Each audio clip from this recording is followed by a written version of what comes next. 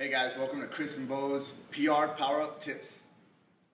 We're here to present to you five basic movements that, if performed perfectly, are going to help you set PRs across the board. All right, so today we're talking about kettlebell swings. We see a lot of power leaks in the kettlebell swing when people don't open up their hips enough, people come up onto their toes, leaving their heels, or they're overusing their arms. Let's figure out how to fix that right now. All right, so we're gonna come down here, we're gonna grab a moderate weight kettlebell uh, a few minutes before class. You're gonna deadlift it up nice and easy, just like Chris did. Make sure you use good form on that. Engage that posterior chain.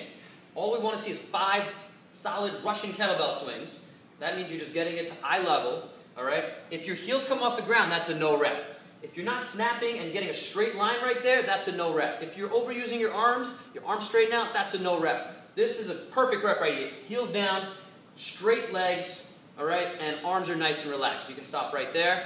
So five reps before every class. All right, guys, that's movement number one of five. Make sure you're moving with some purpose, and we'll hit you with number two tomorrow.